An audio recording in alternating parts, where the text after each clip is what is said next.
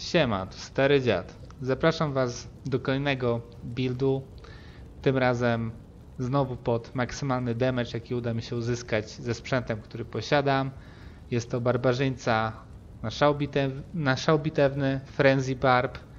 Jeden z dwóch najlepszych buildów na barbarzyńce, jeżeli chodzi o obrażenia, obok buildu na trąbę powietrzną, a zarazem jeden z tych buildów, które pozwalają zrobić Uber Tristram przy odpowiednim sprzęcie i odpowiednim rozdaniu umiejętności. Zacznę oczywiście od drzewka umiejętności, okrzyki.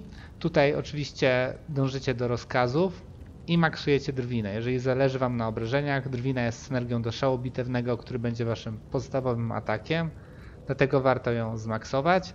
Resztę punktów, które Wam zostaną, nie rozdacie w pozostałe drzewko umiejętności, powinniście włożyć w rozkazy, żeby zwiększyć swoją pulę życia i po prostu Waszą przeżywalność. Rozkazy tu będą skalować się zdecydowanie najlepiej. Jest to regu reguła dla większości buildów na barbarzyńce, że pierwszym, najważniejszym okrzykiem są rozkazy. Mistrzostwa bojowe, tutaj także klasycznie po jednym punkcie w zwiększoną wytrzymałość i szybkość. E, ten barbarzyńca będzie zapieprzał jak e, no nie wiem, naprawdę będzie szybki. E, ten jeden punkt tylko dodatkowo zwiększy jego szybkość, jednak główne, główne źródło szybkości biegania i chodzenia to będzie szał bitewny. Jeden punkt w żelazną skórę i jeden punkt wywrodzoną odporność. Nie warto wkładać więcej, szczególnie jeżeli macie dobry sprzęt zwiększający poziom waszych umiejętności. No i oczywiście maksujecie jedną z mistrzostw, z reguły są to miecze, Gdybyście używali toporów, będą to oczywiście topory. Zdolności bojowe, czyli najważniejsze drzewko. Tutaj wasz główny atak, czyli szał bitewny. Szał bitewny jest to atak, który się rozkręca, czyli z każdym kolejnym atakiem będzie wzrastała wasza szybkość ataku, a także szybkość biegania, chodzenia. Kiedy się już rozkręci, przez jakiś czas będzie to trwało, e, przez 6 sekund dokładnie, przez 6 sekund będziecie szybciej chodzić i będziecie mieć e, zwiększoną szybkość ataku. E, chyba, że w ciągu tych 6 sekund znowu zaatakujecie, wtedy to zostanie podtrzymane i przedłużone o kolejne 6 sekund. Zwróćcie uwagę, 182% do szybkości biegania i chodzenia. Ten barbarzyńca jest naprawdę super, super szybki. E, maksujecie tutaj także podwójne uderzenie które jest synergią do szału bitewnego, czyli tak, maksujecie podwójne uderzenie, drwinę, czyli dwie synergie zwiększające o 8% za każdy twardy punkt na poziom obrażenia z szału bitewnego. I też jest berserker, który daje 1% obrażeń od magii. Niestety brakuje tutaj punktów, e, bo można byłoby tego berserkera oczywiście zmaksować. Teoretycznie można kosztem e, na przykład e, rozkazu włożyć trochę punktów berserkera, ale nie warto. Gdy, gdy traficie na przeciwnika, który ma niewrażliwości na obrażenia fizyczne, możecie zawsze użyć po prostu ataku Berserker, który sam w sobie będzie zadawał plus 275% obrażeń od magii. Tak więc tak prezentują się mm, nasze umiejętności. Teraz przejdę do statystyk. E, jak rozdawać statystyki? Siłę tyle, żeby móc używać sprzętu, chyba że robicie ekstremalny build pod czysty damage, wtedy możecie zmaksować siłę i dać zręczność tylko tyle, żeby używać sprzęt. Ja tutaj używam fazowych ostrz, dlatego mam e, zręczność na poziomie 137. Gdybyście używali na przykład jakichś innych mieczy albo toporów, e, wtedy nie warto w ogóle dawać, znaczy warto dawać w zręczności jak najmniej. No i reszta punktów w żywotność. Także ja mam tutaj taki balans między wszystkimi tymi trzema statystykami i on wynika po prostu ze sprzętu, który na sobie noszę. Czekajcie, przesunę się trochę, bo pomocnik świruje. Dobrze, więc tak wyglądają statystyki i teraz pewnie rzecz, która Was najbardziej interesuje, czyli sprzęt. Używam tutaj dwóch grifów słów runicznych żal w fazowych ostrzach. Pozwalają mi one, no są to, grif jest to słowo, które daje naj, zadaje najwięcej obrażeń ze wszystkich słów runicznych. Wspominałem o tym już w wielu filmach.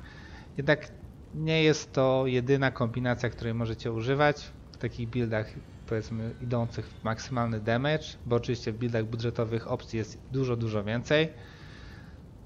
Oprócz griffów możecie na przykład używać mm, Breath of the Dying, e, albo na przykład słowa runicznego śmierć, death, albo na przykład kombinacji słowa runiczne, znaczy samo słowo runiczne śmierć nie jest najlepszą opcją, ale kombinacja na przykład Grifa i śmierci będzie bardzo dobra, gdyż śmierć daje bardzo dużo do druzgocącego uderzenia yy, w zależności od poziomu i nie, nie, do zabójczego w zależności od poziomu i do druzgocącego uderzenia 50%. W ten sposób osiągacie 100% na zabójcze uderzenie i 100% na druzgocące uderzenie, jeżeli będziecie używać e, śmierci i grifa. Jeżeli chodzi o fazowe ostrze, to oczywiście ona nie ma największych obrażeń, ma też mniejszy zasięg niż na przykład berserkerski topór, jednak jest szybsza, więc łatwiej obsiągać te maksymalne progi. Mm, berserkerskie topory mają co prawda też większy zasięg, 3, e, e, fazowe ostrze mają 2, jednak e, na wypadku barba na szał bitewny nie jest to tak ważne jak w wypadku barbarzyńcy na trąbę powierzchną, gdzie ten zasięg ataku jest ważny. Tutaj bijecie po prostu potwory po kolei, podbiegacie do nich i nie musicie, nie, nie macie po prostu ataku obszarowego jakim jest trąba powierzchna. Dobrze, mam nadzieję, że pokrótce już wyjaśniłem, dlaczego ja akurat używam gryfów. Napiszcie w komentarzach, jeżeli uważacie, że są jakieś lepsze opcje. Tutaj mam twarz Wilhelma, oczywiście możecie do tego wrzucić jakiś fajny klejnot plus do obrażeń. Druzgocące uderzenie i zabójcze uderzenie będą bardzo dobrze e, współpracować z umiejętnościami tego barbarzyńcy. Pamiętajcie, przy wszystkich postaciach, które szybko atakują, druzgocące uderzenie będzie się bardzo dobrze skalować, gdyż będzie procentowo z każdym atakiem zjeżdżać życie przeciwniku. Gniew Lorda do szybkości ataku i do zabójczego uderzenia, dodatkowo fajna odporność na błyskawice. Jeździe drzezi, znowuż druzgocące zabójcze uderzenie, jeszcze otwarcie rany. Kruczy lód, potrzebujecie jakiegoś źródła, nie można zamrozić, może to być kruczy lód, może to być runa Ham w hełmie, lub może być to Trollipass, nekromanty z zestawu Trangola. Jednak tutaj warto założyć sznur uszu. Mm, który będzie Wam dał redukcję obrażeń fizycznych, no i oczywiście wykradanie e, życia. Ten barb nie musi mieć tak dużo życia, bo po prostu będzie szybko się regenerował e, dzięki szybkości swoich ataków. I według mnie też warto mieć drugie źródło wykradania życia, w ten sposób mam łącznie 13% e, z tak zwanego dual ringa, czyli pierścienia, który ma podwójne wykradanie. Jest też dla mnie jedynym źródłem wykradania many, mimo że sam sam szał bitewny dużo many nie zużywa, to jednak upierdliwe byłoby picie mikstur. E, rękawice nakładanie rąk ze względu na bonus do obrażeń zadawanych demonom, bardzo duży. Jeden z najlepszych rękawic. Jeżeli na przykład macie problemy z przeżywalnością, opcją jest tutaj chwyt Drakuli, który będzie rzucał klątwę wykradania życia i ten, tenże chwyt Drakuli jest także opcją, którą musicie już używać na jeżeli będziecie chcieli pójść na Uber Tristram. Na koniec e, Hard Fortitude, oczywiście dlatego, żeby zwiększyć obrażenia naszego barbarzyńcy. Tak jak wielokrotnie wspominałem, Święty Pancerz nie jest to najlepsza podstawa, gdyż wymaga bardzo dużo siły. Jednak na niektórych buildach, które bardziej skupiają się na obrażeniach niż na przeżywalności, jest to akceptowalna opcja, no i dodatkowo daje punkty za styl. Jeśli chodzi o talizmany, mam tu powkładane dwa fajne talizmany do zdolności bojowych i do życia. Reszta to są różne fajne talizmany do skuteczności ataku, e, plus do maksymalnych obrażeń. Po prostu najlepsze co znalazłem na moim koncie. No i oczywiście Anihilus i Pochodnia. Nie muszę dodawać, że jest to konto single player. Mam nadzieję, gdyż na online nie mam tak rozbudowanej e, skrzynki i tylu przedmiotów, że móc Wam takie fajne buildy pokazywać. Na słapie mam tutaj dwie Alibaby jeszcze z poprzedniego builda, jednak warto tutaj włożyć sobie dwa przedmioty, które będą Wam zwiększać poziom okrzyków. Mogą być to dwa razy Call to Arms, dwa razy Hoto, albo najlepiej oszczepy plus 3 do okrzyków i plus 3 do rozkazów, jeżeli takowe posiadacie. Pomocnik.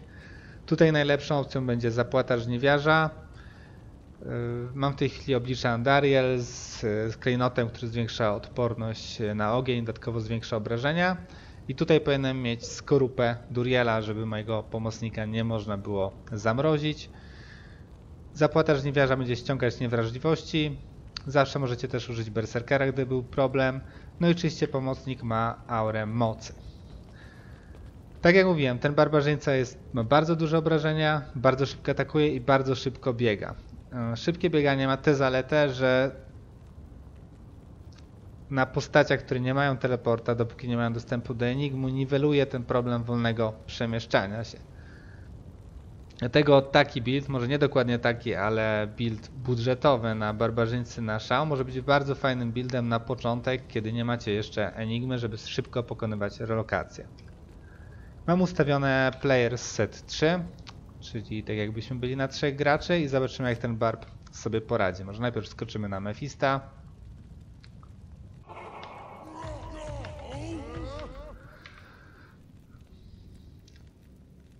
Tak wyglądają jego statystyki. Oczywiście obrażenia z gryfów jak zawsze są zbagowane. Na razie biegnę dosyć wolno.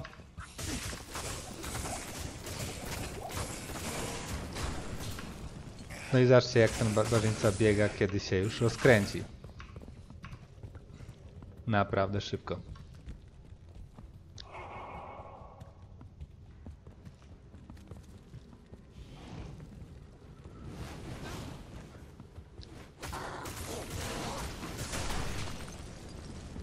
No i ciekawe ile czasu wytrzyma Mephisto.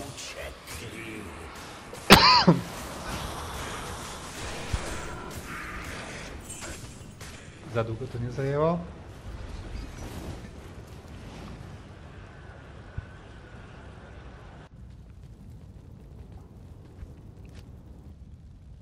Spróbujmy teraz najtrudniejszą lokację w grze.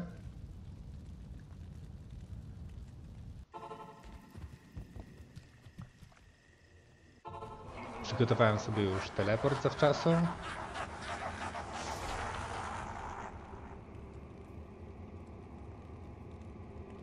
Niestety po chorobie wciąż mam jeszcze widzę lekkie problemy z głosem.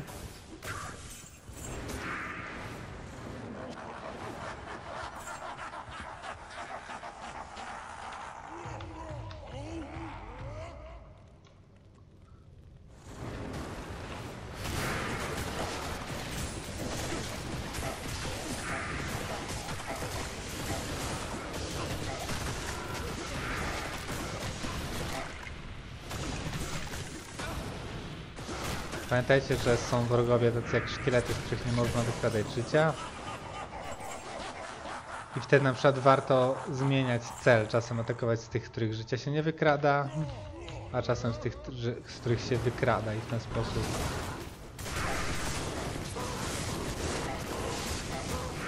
nie będzie problemów z przeżywalnością. O, widzę, że pomocnik poszedł spać.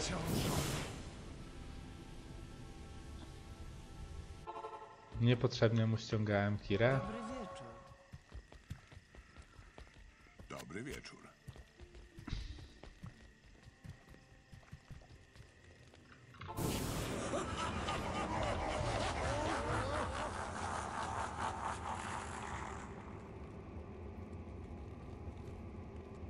Fazowe ostrza, czy tam kryształowe miecze są aktualnie według mnie najfajniej wyglądającymi mieczami.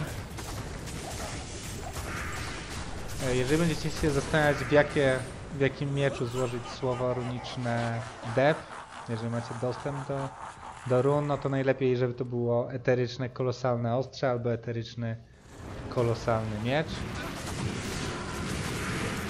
I Pamiętajcie, że dep daje wam także niezniszczalność.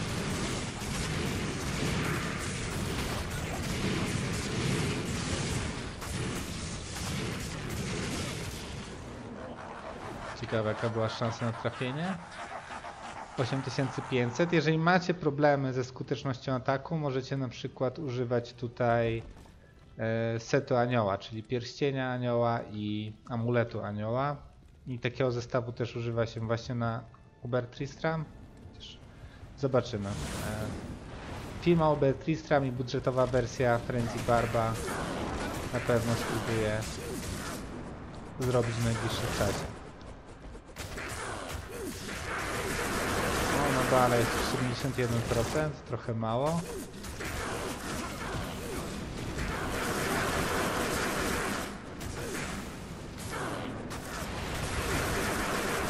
No nie jest to szybkość Jabazonki.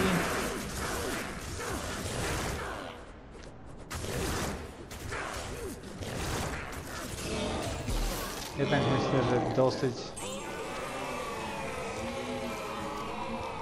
dosyć szybko ten barb sobie poradził. Także tak wygląda mój barbarzyńca. Super szybka, super silna postać. W najlepszym sprzęcie jaki mam. Mam nadzieję, że ten filmik Wam się podobał, że się przyda. I to wszystko na dziś. Do usłyszenia i trzymajcie się.